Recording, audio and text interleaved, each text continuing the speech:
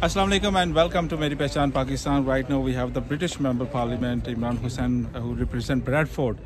आपने कश्मीर काज पे भी काम किया है इमिग्रेशन पे भी बहुत सारा काम किया ब्रैडफोर्ड के क्या मसाइल हैं जो अभी सामने आ रहे हैं देखिए Bradford is in a very similar situation to the rest of the country. You know, we have seen over the last decade, because of the ideological austerity agenda of this government, real poverty on our street. In my constituency, child poverty is now at 50 percent, which is absolutely, uh, you know, uh, outrageous, unacceptable. But this is now we see one of the biggest cost of living crisis that we have ever seen and ordinary families are struggling to put bread and butter on the table but there is no acknowledgement of that uh, from this government uh, and, and our communities have already been devastated by the decade of cuts that we've seen uh, within our council budgets, youth budgets and many other budgets. आपने बहुत सारे bill पेश किए हैं British parliament के अंदर तो अभी तक उन पे क्या काम हुआ है क्या प्रोडक्टिविटी क्या है देखिए of course bills तो हुकूमत पेश करती है and those that we disagree with we will continue to disagree with and I will continue to make sure that I